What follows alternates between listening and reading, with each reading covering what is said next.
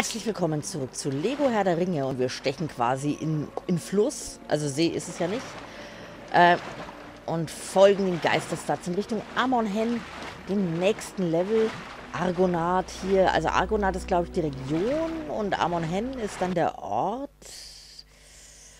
Ähm, wenn ich das richtig äh, verstehe, ich bin da nicht ganz so fit. Also ich bin tatsächlich zum Beispiel in der Geografie und auch was die Charaktere und die Zusammenhänge angeht, in Harry Potter viel, viel versierter als in Herr der Ringe.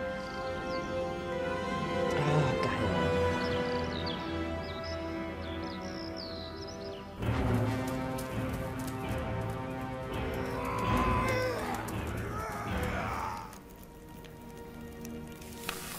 Bei Einbruch der Nacht überqueren wir den See. Wir verstecken die Boote und gehen zu Fuß weiter. Wir nähern uns Mordor vom Norden her. Wir sollten aufbrechen. Noch nicht. Orks bewachen das Ostufer. Wir warten auf den Einbruch der Dunkelheit. Wo ist Frodo?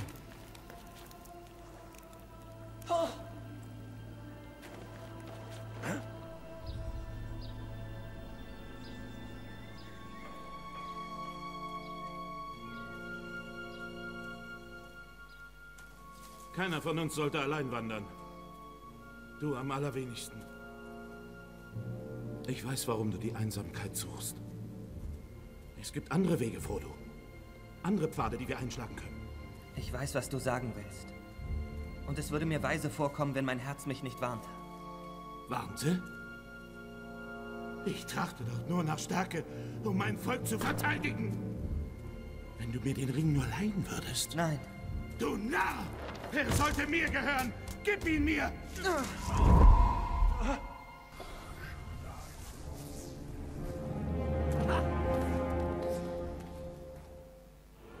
Ja, Boromir hat es auf den Ring abgesehen. Ich finde Boromir ehrlich gesagt ziemlich geil. Ich bin ein großer, großer Boromir-Fan. Und ähm, ich muss gerade mal gucken. Wir haben hier einen Brocken aufgehoben und diesen Brocken können wir werfen. Das machen wir auch gleich. Ähm, wir haben jetzt auf jeden Fall den Ring angelegt, was natürlich die Nazgul auf den Plan äh, ruft.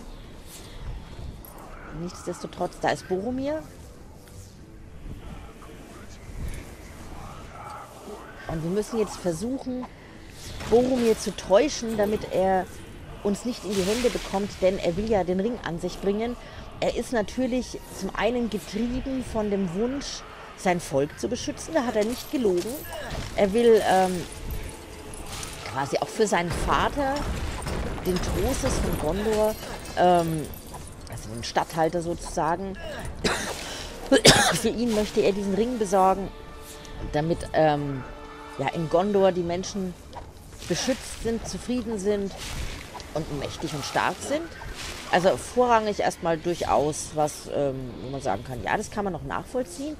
Zum anderen ist es natürlich so, dass der Ring ähm, eine große Macht auf jeden ausübt und ähm, schnell das Begehren weckt, den Ring an sich zu bringen, um ihn für eigene Zwecke, für die eigene Macht ja, zu benutzen. Ich sage jetzt gar nicht mal missbrauchen, sondern zu benutzen. Und Boromir, das, das weiß man ja auch im Film, hat ja durchaus so Momente, wo er dieses Verhalten auch bedauert. Und dann wieder ähm, kann er sich selbst nicht unter Kontrolle bringen. Wir können übrigens jetzt jederzeit hier äh, zu den anderen Gefährten wechseln. Was wir auch gleich tun sollten, denn ich komme hier gerade nicht so wirklich voran. Wenn Frodo den Ring angelegt hat und hier in dieser ja, Zwischenwelt ist, kann er nicht springen. Also ich kann jetzt hier nicht einfach rüberhüpfen. Ich hänge hier gerade ein bisschen fest. Ich kann jetzt eigentlich nur wieder runterklettern. Aber da ist halt Boromir im Weg. Das heißt, ich muss ihn erstmal wieder irgendwie ablenken. Oh, ja, okay, jetzt bin ich ihm doch ein bisschen zu nahe gekommen. Ist jetzt noch nicht so schlimm. Man kann sich hier wieder befreien. Aber wir kommen also nicht an ihm vorbei. Was auch interessant ist, ist, dass diese Lebensherzen hier bei Frodo jetzt so ähm, mit elbischen Ornamenten quasi umschlossen sind. Was halt auch nochmal unterstreichen soll, dass er jetzt hier in dieser Ringwelt gefangen ist. Ich glaube, Normalerweise können wir schon was machen, denn wenn ich jetzt zwingend zu den anderen wechseln müsste, würde es mir angezeigt werden. Mein Gedanke war ja hier diese... Ach doch, ich kann doch die Säule verschieben. Ich habe das gerade noch versucht und habe aber die falsche Taste gedrückt. Ich muss einfach nur dagegen laufen. Okay. So.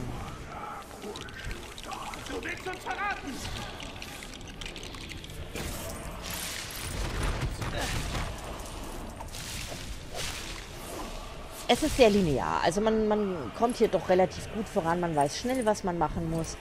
Also, dass man wirklich in einem Lego-Spiel festhängt, kommt ja sowieso so gut wie nie vor. Also, dass man nicht mehr weiß, wo man hin soll oder was man machen soll, das ist schon sehr offensichtlich immer alles. Im Zweifel macht man halt alles kaputt, so wie jetzt, und dann findet man einen Stein, den man dann wieder irgendwo hinwerfen kann, um Boromir abzulenken. Oder um sich selber was zusammenzubauen.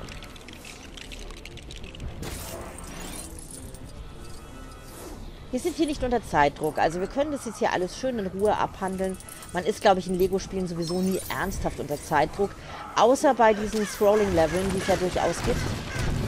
Ich weiß gar nicht, ob dann Herr der Ringe eins ist.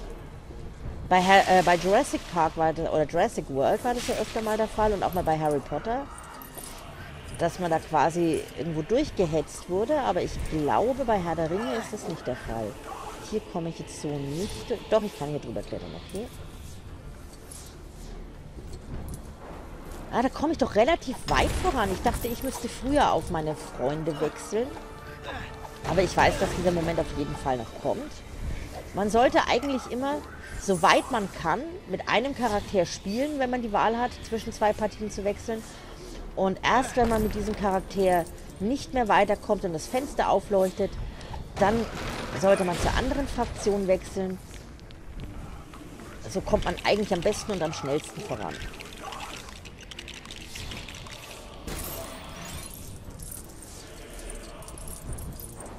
Auch hier die Hintergrundmusik und so wieder herrlich. Ich kriege natürlich einen Haufen, ähm, hoppla, Meldungen äh, wegen Urheberrechtsproblemen und Monetarisierung. Mit anderen Worten ist es so, ich würde mit diesen Videos kein Geld verdienen. Wobei ich das sowieso nicht angemeldet habe. Also ich verdiene sowieso kein Geld mit meinen Videos. Ähm, bei meinen Aufrufzahlen. Hoppla, das wollte ich eigentlich gar nicht. Nee, nee, nee. Ich wollte bei Frodo bleiben. Ich wollte eigentlich. Achso, der hat ja gar keinen Bogen. Ich bin ja blöd. Ähm, ja, also durch diese Urheberrechtsgeschichte mit dieser offiziellen Musik würde ich jetzt halt kein Geld für dieses Video bekommen, für die Aufrufzahlen, die bei mir so minimal sind, dass ich sowieso kein Geld kriegen würde. Also es würde sehr lange dauern, bis es da zu einer Auszahlung käme. Aber mir ist es tatsächlich wichtiger, dass ihr ähm, diesen Sound und, und die Originalmusik habt und dieses Spielerlebnis. Und dafür würde ich, auch wenn ich jetzt die Wahl hätte, lieber darauf verzichten, dass ich da ein paar Cent dafür bekomme, als äh, dass ich jetzt hier irgendwie die Musik rausschneide oder so. Inzwischen ist es ja auch so, dass es Spiele gibt, also man hat sich da ja inzwischen angepasst, ähm, wo man Originalmusik ausblenden kann. Und zwar ist es so gedacht, äh, wenn das Spiel gestreamt wird, was ja mittlerweile sehr gängig ist oder als Let's Play aufgenommen wird, damit man da eben keine Urheberrechtsprobleme bekommt. Ich weiß gar nicht, bei irgendeinem Spiel vor kurzem, da habe ich das gesehen gehabt. Ich glaube bei Jurassic World, bei dem äh, Jurassic World Evolution, da ist das glaube ich so. Da kann man die Originalmusik ausschalten. Diesen ganzen Weg, den wir jetzt gerade mit Frodo gehen, den dürfen wir auch nachher nochmal mit den Gefährten gehen. Allerdings kommen wir da, glaube ich, ein bisschen schneller voran. Weil er kann sich jetzt auch nicht so wirklich schnell bewegen.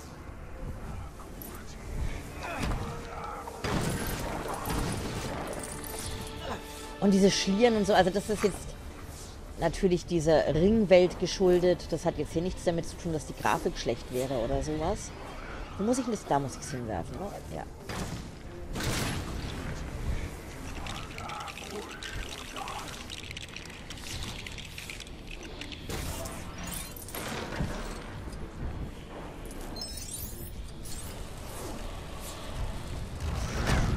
Ich überlege, ob ich jetzt doch mal auf die anderen wechseln soll.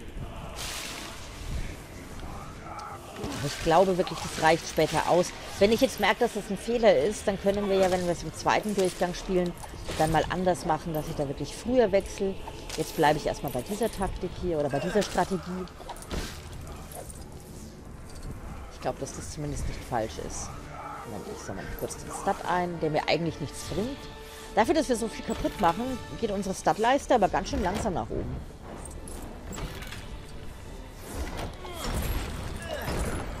Ich habe mich auch öfter gefragt, was Amon Hen eigentlich wirklich ist. Also Arg Argonath ist, glaube ich, wirklich diese Region. Und ähm, Amon Hen ist halt dieser Ort mit diesen Statuen und so weiter. So eine Kultstätte vielleicht. Da ist wieder so eine Speicherfigur. Da würde ich jetzt mal eben drauf verzichten.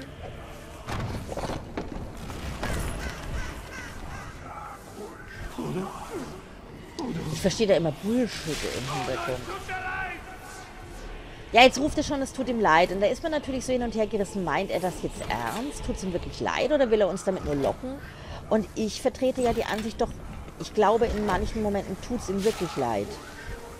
Ich glaube, er weiß selber nicht genau, ob er, wenn er dieses Es tut mir leid ruft, ob er ihn damit locken will oder ob er sich wirklich entschuldigt. Aber ich glaube, ein Teil von Boromir entschuldigt sich wirklich. Und Boromir ist kein schlechter Mensch. Ähm, diese ganze Geschichte um Boromir und um seinen Bruder und seinen Vater. Das ist eigentlich eine unglaublich tragische Geschichte und Boromir ist für mich ein absoluter Held. Und ich mag auch den Schauspieler sehr. Ich weiß jetzt gerade gar nicht, wie er heißt. Ich weiß nur, dass er in dem Film, also zumindest im ersten Film Silent Hill, ähm, mitgespielt hat. Da hat er nämlich Cheryls Vater gespielt, wenn ich das richtig in Erinnerung habe. Und, ähm, oder Nessas Vater, wie man es nennt, Cheryls Vater, ja. Und ähm, da habe ich mich damals schon so gefreut, weil ich den halt richtig gern habe. Und ähm, was ja manche, oder eigentlich, was eigentlich so gut wie keiner weiß, ich habe ja auch eine Buchreihe geschrieben und äh, da gibt es einen Charakter, ich sage jetzt auch nicht, wer es ist, ihr kennt meine Buchreihe sowieso nicht, ähm, den habe ich mir immer wie Boromir vorgestellt. Ein bisschen älter vielleicht, aber vom Prinzip her wie Boromir. Und jetzt haben wir hier Saurons Auge, das uns natürlich beobachtet, weil wir den Ring angelegt haben. Und wir müssen jetzt versuchen, uns dieser Beobachtung zu entziehen.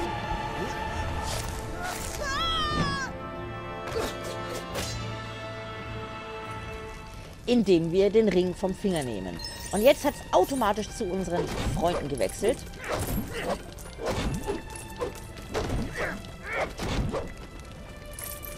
Ja, es liegt mir optisch natürlich ein bisschen mehr, muss ich sagen. Also, oh, da brauche ich einen starken Charakter, den ich nicht habe. Ähm, wo sind eigentlich die anderen Hobbits hin? Kann ich auf die... Nee, die habe ich gar nicht in der Gruppe. Ich habe hier also auf der einen Seite Frodo und dann habe ich hier Aragorn, Gimli und Legolas, aber Mary und Pippin sind irgendwie jetzt gerade nicht da. Ähm ja, mir liegt es hier ein bisschen mehr, dieses farbige und äh, die scharfe Grafik. Das ist mir ein Ticken lieber als ähm,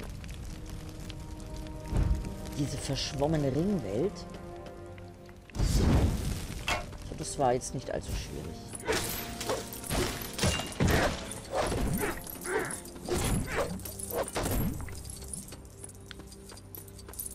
Gibt es doch noch ein bisschen was abzuräumen. Ich will es jetzt zumindest versuchen.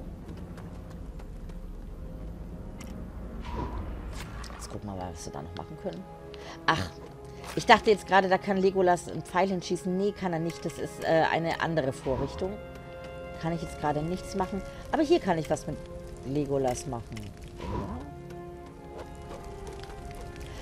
Ach, äh, ihr erinnert euch, wir haben doch von Galadriel Geschenke bekommen. Unter anderem hat Sam Elbenseil bekommen. Und an diesen gelben Knöpfen kann ich das Elbenseil befestigen, um dann hochzuklettern. Allerdings haben wir jetzt, wie gesagt, Sam nicht im Team. Genau, Sam fehlt nämlich auch. Von diesen Statuen gibt es hier insgesamt sechs Stück zu finden. Zwei haben wir schon und die anderen werden uns im weiteren Verlauf begegnen. Hier zum Beispiel könnte ich mit Sam buddeln. Ähm, aber das geht halt alles erst, wenn wir im zweiten Durchgang hierher kommen und frei entscheiden können, welche Charaktere wir benutzen.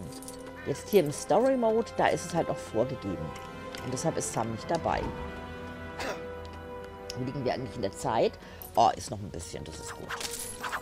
Ich glaube nicht, dass wir Amon Hen jetzt alle, äh, dass wir da jetzt alles in dieser einen Folge schaffen. Also gerade wenn man noch ein bisschen anfängt, dass man Stats einsammelt oder sowas, dann braucht man für ein Level doch ein bisschen länger als 20 Minuten. Man kann es natürlich in der Zeit schaffen, aber...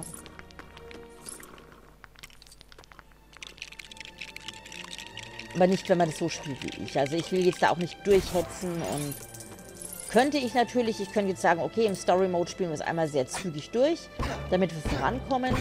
Und dann beim zweiten Mal dafür etwas langsamer und dann nehmen wir dann alles mit. Aber mir liegt es einfach nicht. Ich, ich bin jetzt nicht jemand, der sich da endlos Zeit lässt. Ich komme schon gerne auch voran. Ich habe das gerne, wenn man regelmäßig Fortschritt hat.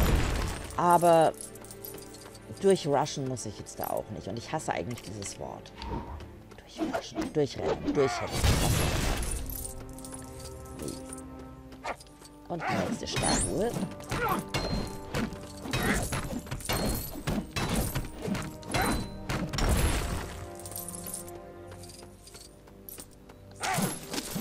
Das macht so Spaß, diese Sachen kaputt zu hauen. Ich kann gar nicht erklären, woran das liegt. Die Geräusche, die dabei gemacht werden. Und dann kann man natürlich Münzen einsammeln, was ja an sich immer sehr befriedigend ist. Und jetzt kann ich da gleich Gimli dran werfen. Und ihr seht schon, es ist also wirklich genau der gleiche Weg, den Frodo auch gegangen ist. So. Dieses Werfen von Gimli ist auch ein so geiles Element, weil das natürlich eine super geile Anspielung auf den Film ist. Und es gibt, habe ich glaube ich sogar schon mal erwähnt, eine Trophäe, also eine Steam-Errungenschaft, wenn man mit, mit Legolas, glaube ich, Gimli ähm, einige Male wirft. Also es gibt eine bestimmte Anzahl und wenn man so und so oft mit Legolas Gimli geworfen hat, dann gibt es dafür eben eine Errungenschaft, was ich sehr, sehr geil finde.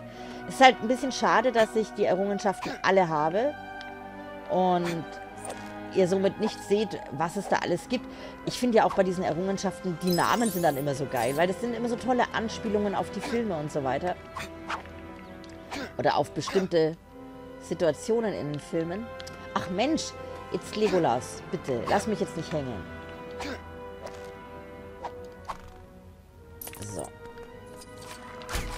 Halt, Moment. Statue runter. Ich will immer mit Legolas gar nicht so viele Pfeile verschießen, weil irgendwie ist es so in mir drin, Pfeile sind äh, Munition, Munition ist Mangelware, Ressourcen sparen. Ist natürlich Blödsinn, wir haben natürlich unendlich Pfeile. Aber es ist halt bei den meisten Spielen so. Und da hat man das einfach so drin.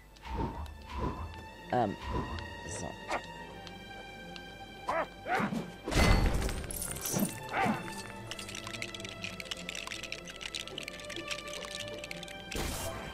Ich finde es auch immer wieder faszinierend, wie diese Entwickler der Lego-Spiele ähm, es schaffen, aus solchen Sachen ein interessantes Gameplay zu machen. Also indem sie wirklich sagen, okay, wir haben jetzt hier den Weg äh, durch Amon Hen, die Gefährten folgen Frodo.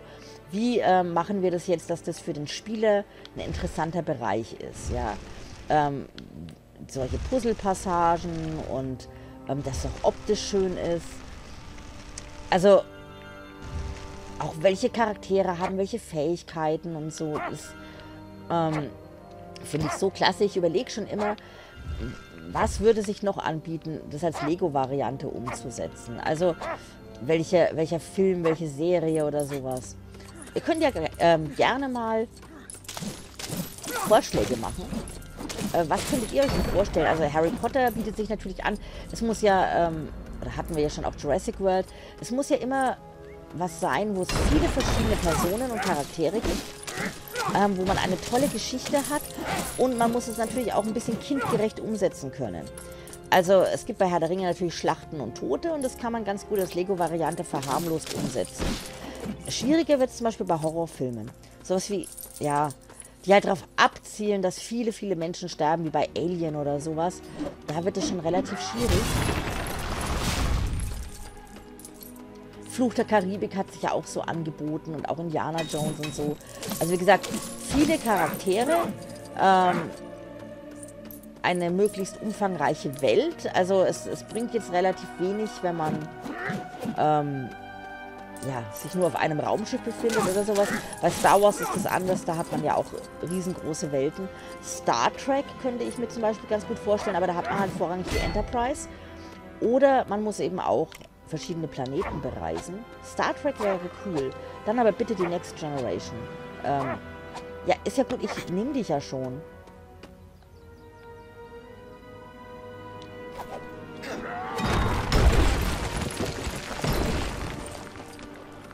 Ich könnte mir auch vorstellen, dass es so mal eine explizitere Kindervariante gibt, wie dann sowas so Lego 5 Freunde oder sowas. Finde ich auch toll. Oder Lego TKKG.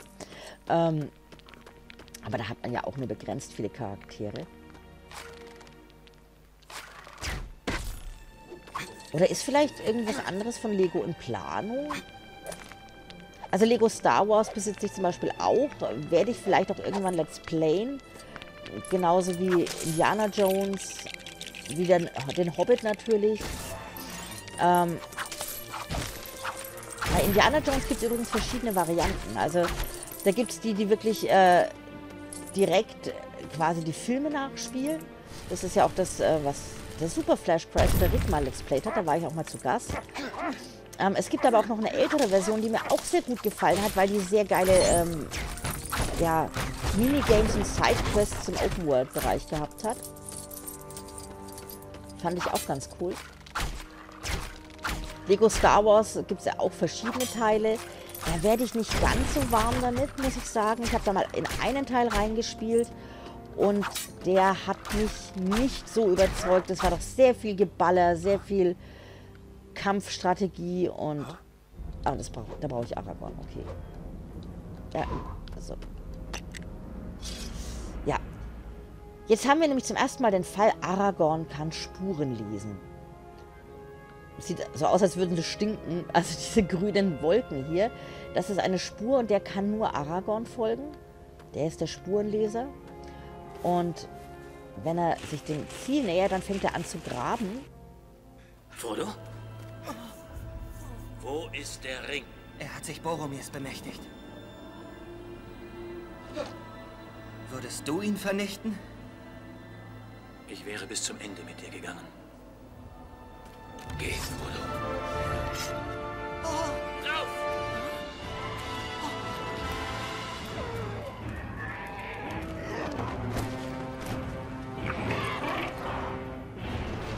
Ein Checkpoint. Die Klinge hat blau geleuchtet, die Orks und die Urukai sind Anmarsch. Und man hat es ja jetzt schon gehört. Ähm, Frodo vertraut eigentlich seinen Freunden, aber die Frage ist... Moment, nee, will ich jetzt nicht. Die Frage ist, kann er ihnen so weit vertrauen, dass sie auch wirklich bereit sind, den Ring zu vernichten? Oder wollen sie ihn nur bis nach Mordor bringen und überlegen sich es dann anders? Und da wir jetzt sowieso einen Checkpoint hatten, denke ich, ist es jetzt ein guter Moment, die Folge zu beenden. Ich würde zwar jetzt liegen gerne hier noch ein bisschen rumdreschen und Stats sammeln. Das sieht nämlich eigentlich ganz gut aus auf unserer Stat-Anzeige. Aber nichtsdestotrotz gehe ich jetzt mal kurz in den Pause-Modus, damit wir dann morgen an dieser Stelle weiterspielen können. Ähm, ich denke mal, dass wir dann relativ dicht am Ende von Amon Hen sind. Und ich bin dann sehr gespannt, wie es weitergeht. Es gibt ein Level, da bin ich noch nicht so, da freue ich mich nicht so extrem drauf, aus einem ganz bestimmten Grund. Ähm, das lässt aber noch ein bisschen auf sich warten. Und ja, dann lassen wir uns überraschen, wo dann morgen die Reise hingeht. Macht's gut, bis dann. Tschüss.